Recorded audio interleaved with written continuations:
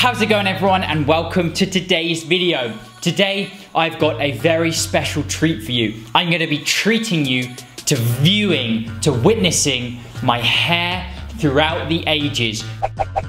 My entire sort of hair journey if you like from the age of about 16 to now where we have no hair. I found some old pictures way back when and it really inspired me to kind of make this video. I think it's gonna be a fun little video to make and hopefully a fun video to watch.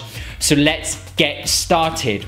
We jump in here straight away when I was just a little boy. I think we're talking about maybe one, two years old, something like that here. We're rocking the cardigan. And when I was younger, I actually had this sort of blonde, kind of quite thin, but it was very light, very blonde. And as I got older, to sort of like five, six, seven, my hair became much darker.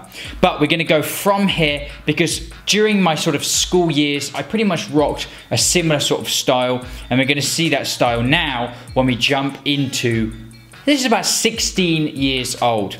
So this is actually at, uh, like a house party, a house party at um, my first girlfriend's house. She wasn't my girlfriend at the time, but you can see there, super skinny, rocking that sort of spiked up, but with the fringe down that sort of everyone was rocking at the time. Got a can of Heineken on the go, and we've got the collar up on the shirt, classic. And yeah, I rocked this look for quite a while. It's just short on the sides, longer on top, bit of hair gel in there, bit of product, spike it up, and yeah, this was on a little cruise I went on, a little family holiday. And I pretty much just rocked this look for a very long time.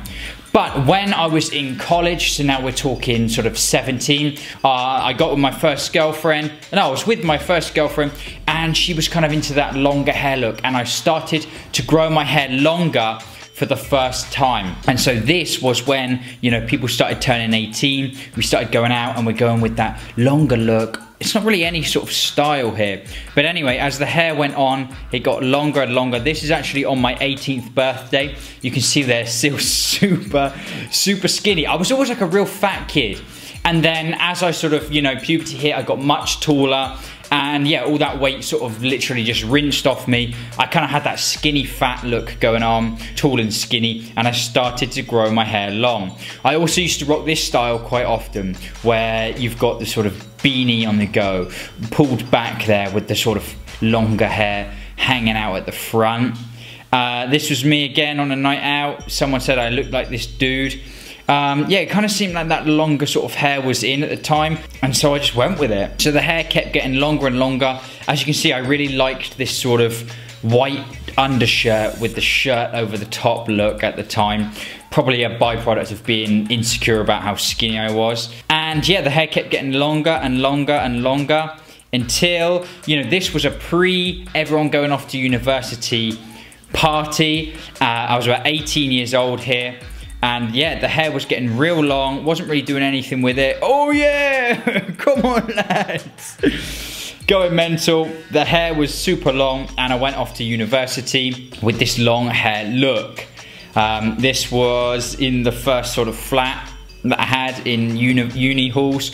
This is Freshers Week, I do believe. And there I am with the pearly whites and that super long hair. And it used to sort of flick out at the sides where it was so long. Uh, and because of that, I used to often wear a hat, like a trucker style, but with a flat cap. And it used to sort of curl up and out at the edges and at the back. But that was about as long as it got until I was convinced to get my haircut again by my girlfriend at the time, the same girlfriend. And she was into this whole, I don't know what to call that, alternative look. So we got cut in this epic fringe. And I actually remember I was on a night out um, and I was rocking this epic fringe and these guys at this bar were like taking the piss out of me. Um, I can't remember what they said, but something about having like the biggest fringe they've ever seen. Because yeah, it was really, this haircut was expensive as well. I got it done in a really fancy like hair salon. And yeah, really short at the sides with like really low on top, but this sort of epic fringe that came down. Not my favorite look. That one didn't last long, but enough to sort of go out on a few nights out. And yeah, I rocked this long fringe for quite a while. After that, I sort of, you know, enough's enough. I went back to that classic you know, short on the sides, bit longer on top, spiking it up look. And this is where we enter the sort of the frat boy you know, the lad. I started hitting the gym much harder with this guy um, to my to my right here. This guy, really good friend of mine on the same course at uni. And funnily enough, he was actually already going bald in university. I think he was about a year older than me. So sort of, we're talking 22, 21, 22. You know, he was already losing his hair, but very, very slowly. Throughout the whole years we were at university, it never really, it never drastically fell out for him or anything like that. And yeah, here we go. Look, we're we're putting on some weight now, so I'm starting to hit the gym more. Uh, you know, I'm bulking up on that perma bulk. And yeah, I kept rocking this hair, you know, short on the sides, longer on top. You know, just classic lad, just, I don't know, this is like the most basic hairstyle you can get really. Um, and then it started to get a little bit progressively shorter. I got it sort of faded in much shorter, like a one on the sides. It was really long on top with like a super short on the sides. And I really liked that look for a while. I thought it was a bit more manly at the time. And it kind of got a little bit more extreme. I kept getting it cut shorter and shorter and I eventually was starting to pull off this sort of well I thought it was like a marine type look with that high fade and the skin but you can see here I was weighing like about 200 pounds in this picture here I was still on that perma bulk I thought you know you got to eat eat big to get big I was eating a lot smashing the gym trying to really like put on as much muscle as I could because I was fed up of being that like skinny dude. And yeah, I was rocking this really short style for a long, long time. I got it cut quite regularly every sort of two weeks or so. Again, we're still at university. This has got to be about year three now of university. And I quite like this look. I started to slim down a little bit at this time. I, I realized I was like way, way too fat. And so I started to slim down a bit more um, but still rocking this super short on the sides with a bit longer on top. And it was at that point that I actually tried the zero all over and I rocked this like zero all over. This picture isn't fantastic, but you can kind of tell I'm still kind of chunky, but there's me rocking the zero all over. And I actually would get this cut like every week. I had no idea that I was gonna go bald, but I rocked this for, yeah, I wanna say a good few months, this whole zero all over phase. But the guy kept saying to me, you know, oh, you should probably, your hair's so nice, why'd you cut it off?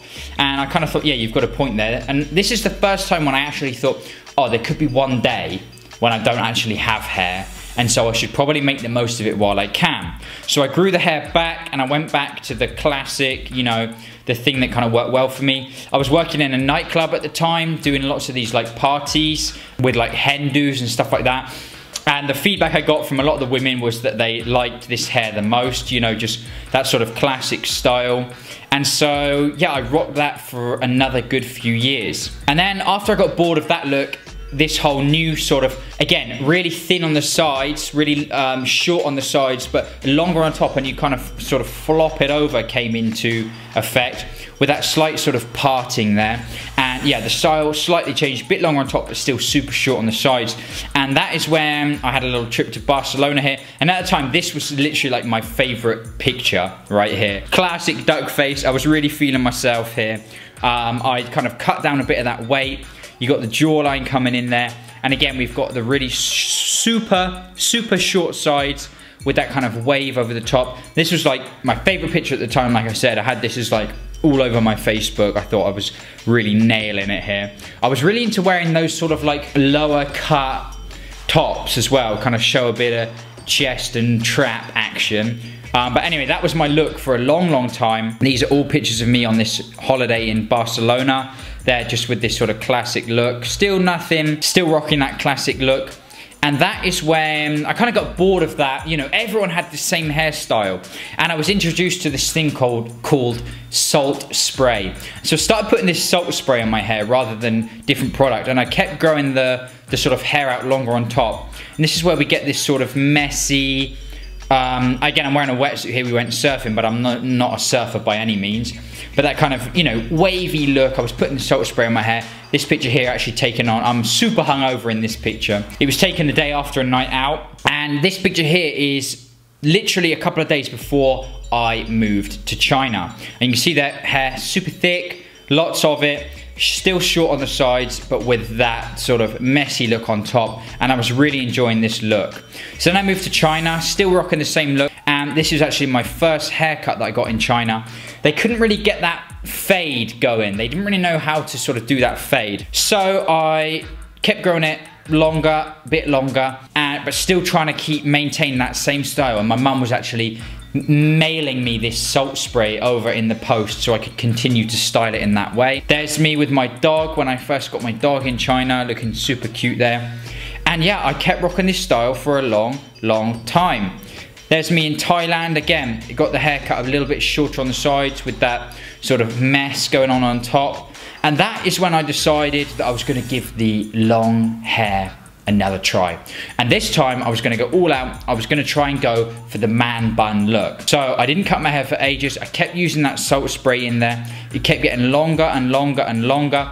And then I started to wear hats a lot because the hair was getting too long to style using that sort of hairspray, using that salt spray. Again, I was having to sort of pull it back and it was looking really messy. And so I started to wear hats all the time, these sort of backwards cap look. it was in that awkward stage, that in-between stage. So again, rocking the hats all the time. We finally got into a point where we get that little top knot on the go. And there's a little picture of me this has got to be, oh, this is after my first year in China. So I did all of that in my first year in China. And uh, about this time, I was preparing to go to America. So I'd been on an, a diet, but my hair was in this really awkward stage. And again, I could get away with this in China because people would look at me however I looked, right? But I was going to America and I wasn't really feeling the man bun look because it obviously wasn't a full man bun yet. It was this weird little top knot, but I went with it anyway. But when I went to America, I was like, no, I'm gonna get rid of the top knot. I'm gonna put that salt spray back in there and I'm just gonna rock this sort of mm, longish, messy look. And I was really, really liking this look. Um, it really sort of I kept the, I started to grow in the beard for the first time and I feel like it was working for me. You know, the hair was sort of like pulled back, but not, you know, it wasn't pulled back, it was just sort of styled back, but again, this messy look. And it would really come out if I got that salt spray in there. And especially if I got out into the wind, that is when I really got that optimal look. And again, these pictures here, you know, still rocking that same sort of low cut-ish top. Got a nice tan on the go there nice little bit of facial hair and the hair and I was really feeling this hair for a long long time um, you know my dad took a few pictures when I went back a few portraits and this picture here was like my favorite picture so we went from that picture of me in Barcelona and then this was my all new most optimal look. I was really really enjoying this look. But after my first year I went back home. I went back to China and people were kind of peer pressuring me saying that it looked really scruffy. You know there's no sort of like alternative styles out here in china. And so it's clean cut or nothing really. And people kept hassling me to get my hair cut. I buckled i'm ashamed to say i buckled into the peer pressure and i went back to that short on the sides look. Classic look and i rocked that for a little while.